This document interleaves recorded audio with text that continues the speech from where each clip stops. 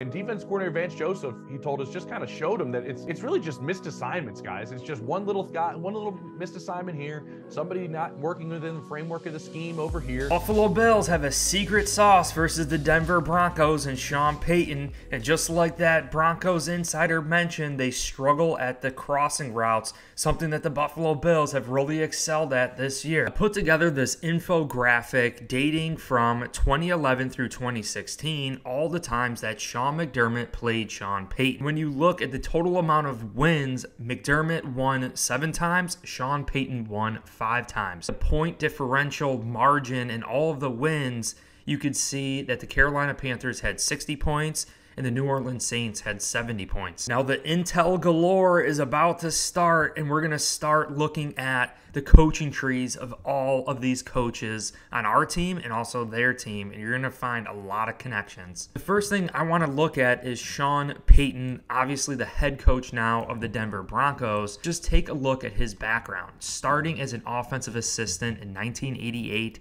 a running backs wide receiver coach, you know, running backs coach, a quarterback coach in Illinois in 1996 quarterback coach in 1999 with the Giants, and obviously offensive coordinator with the Giants after that. But he's been primarily on the offensive side of the football. Whereas our guy, Sean McDermott, primarily on the defensive side of the football, obviously dealing with defensive backs throughout his career with the Eagles, playing defensive back dating back to William and Mary in college, but obviously becoming the defensive coordinator for the Carolina Panthers between 2011 and 2016. So the facts are Sean McDermott, a defensive minded coach, going against Sean Payton, an offensive minded coach, while he was defensive coordinator in the Carolina Panthers. And Sean McDermott was 7 and 5 going against that defense. Now, this is where things start getting very interesting. Joe Brady, our quarterback coach right now for the Buffalo Bills, spent time not only at William and Mary, but was the offensive assistant to Sean Payton in 2017 as well as 2018. So being the offensive assistant under Sean Payton, who is an offensive minded coach for two years, 2017 and 2018, I think there's some additional intel that Joe Brady has and can present to the Buffalo Bills and Sean McDermott to prepare against the Denver Broncos. Joe Brady was a linebacker coach at William and Mary, became a graduate assistant at Penn State, not necessarily working on the offensive side of the football, becomes an offensive assistant under Sean Payton. And what happens? He goes on to LSU in 2019 and balls out of control. 2019, Brady joined the LSU Tigers as their passing game coordinator and wide receiver coach.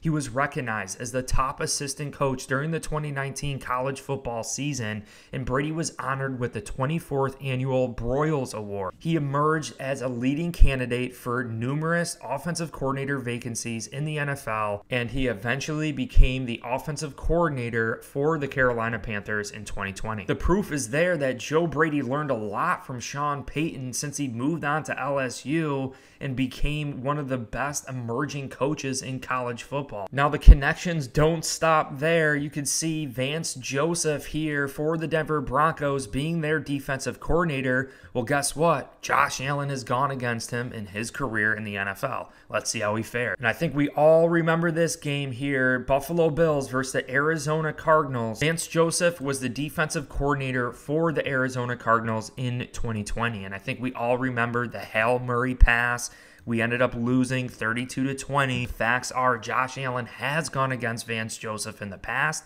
just like he's gone against Vic Fangio in the past. So we could try to draw some comparisons and what the Buffalo Bills are going to excel at. Intel doesn't stop there because when we played the Arizona Cardinals in 2020, we had Ken Dorsey as a quarterback coach in 2019 and 2020. So not only did Josh Allen go against Vance Joseph and the Arizona Cardinals during that Hail Mary loss, but Ken Dorsey was there and he learned from that experience. In that 32 to 30 loss, the Hail Mary pass at the very end of the game, Josh Allen went 32 of 49, 284 passing yards, two touchdowns, but he did have two interceptions, no sacks. Now, what I find most interesting about this matchup, and it goes back to what that Denver Broncos insider stated at the beginning of this video, is that they struggle on those shorter, shallow crossing routes. You can clearly see Cole Beasley and Stefon Diggs who are and were dominant in those shallow crossing routes in the short route tree. Cole Beasley led the Buffalo Bills team versus the Arizona Cardinals with 11 receptions, 109 yards, and a touchdown. This to me is a signal for Dalton Kincaid, our first round rookie tight end, who is said to be replacing a skill set like Cole Beasley. I'm anticipating a big game for Dalton Kincaid in this matchup, as well as Stefon Diggs. Stefon Diggs came away with 10 receptions, 93 yards, and a touchdown. The formula to beat a Vance Joseph defense has already been released, and I really believe the Buffalo Bills have been working on this shallow route tree all season long those two high safety shells, playing a lot of zone coverage. They do decide to play a little bit of man coverage. We have a guy like Dalton Kincaid and Stefon Diggs who are man beaters. They not only have the feel to sit in zone coverage, they really are dual purpose threats in the sense that they can beat man and they can beat zone. The Bills could potentially get a little bit more intel from our wide receiver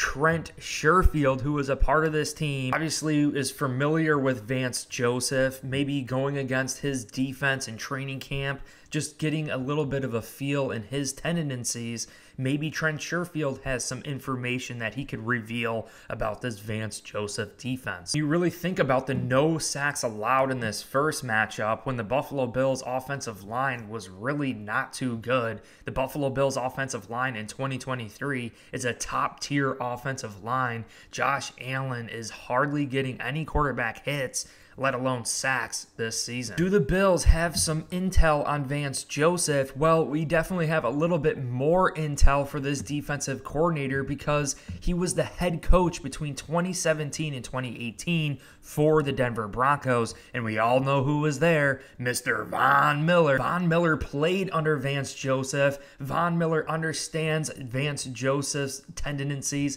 he understands this defense, and I know Von Miller could definitely present a lot of intel to Sean McDermott, Ken Dorsey as to how to play them, maybe their weak points, what they struggle at, how to attack them. I love all the intel the Buffalo Bills having going into this game. Sean McDermott understanding Sean Payton in only year one of his regime under the Denver Broncos. Bills, man, we have been building this thing for years. I think that is a huge advantage. Plus, understanding that Sean McDermott knows Sean Payton, understanding that our quarterback coach, Joe Brady, worked under Sean Payton for two years. Being that we're in the seventh year with Sean McDermott here, the complexity of this defense, Sean Payton really isn't going to know all the ins and outs of a Sean McDermott defense, whereas Sean McDermott understanding Sean Payton in only one year with Russell Wilson in this offense, they're going to have a much more basic, less complex offense. And I think Sean McDermott will have a better understanding of their foundation and what they're trying to accomplish. Plus, you look at Joe Brady, our current quarterback coach, working alongside Sean Payton as an offensive assistant and the intel that he could present to Sean McDermott really some more information that this Buffalo Bills defense can work with, having a better understanding of Sean Payton and what they're trying to accomplish offensively. Josh Allen playing against a Vance Joseph, Ken Dorsey already playing against a Vance Joseph defense, Trent Sherfield being on that team with Vance Joseph, and Von Miller playing under defensive coordinator Vance Joseph in 2017 and 2018 definitely presents a ton of information that the Buffalo Bills can work with against the Denver Broncos in this Monday night matchup. And the one thing that is going great for this Buffalo Bills defense is our pass rush. We are still a top five pass rush in the NFL, sacking and hitting opposing quarterbacks like crazy. And one thing we hear that Russell Wilson loves to do is hold on to the ball. Russ has held on to the football quite a bit. We all know that's been his MO his whole career, right? Holding on to the football and, and doing things like that. And now he's holding on to the football still and not escaping as well as he used to in seasons past back in Seattle when he maybe was a little bit more spry. How difficult it's going to be for this offensive line, specifically because this game is at night and in Buffalo. You're right. You know like the, the extra jump that could be there. It's going to be difficult for offensive linemen to hear, difficult for offensive linemen to handle a defensive line like Buffalo has. He's the type of player this offensive line really struggles with. Protecting Russell Wilson's been an issue. Russell Wilson was outstanding in Seattle, the number one play action quarterback for years, made a living off of deep seam routes and setting up things off play action. You know, they struggle immensely with pass protection. This is a get right game for the Bills up front if they want to get after the passer. He loves having explosive plays. He's not necessarily a rhythm passer. He likes holding onto the ball and throwing the ball deep. And that does not mix with this Buffalo Bills defense, who ultimately wants to force opposing quarterbacks to hold on to that ball a little bit longer and bet on this pass rush to get to him. A pass rush with Von Miller getting healthier and healthier. Von Miller going against his former team, the Denver Broncos. You have to expect that he's going to be hyped up for this game. First glance, you might just say, oh, it's Sean versus Sean, Sean Payton versus Sean McDermott, and the history that they have going back to Carolina and the Saints but it gets much, much deeper than that. The Buffalo Bills have a ton of intel to work with here, and I think the Buffalo Bills match up very well against the Denver Broncos. Even hearing that insider for the Broncos state their struggles, taking a look at Vance Joseph's history with the Bills in 2020, seeing Cole Beasley be dominant, seeing Stefon Diggs be dominant.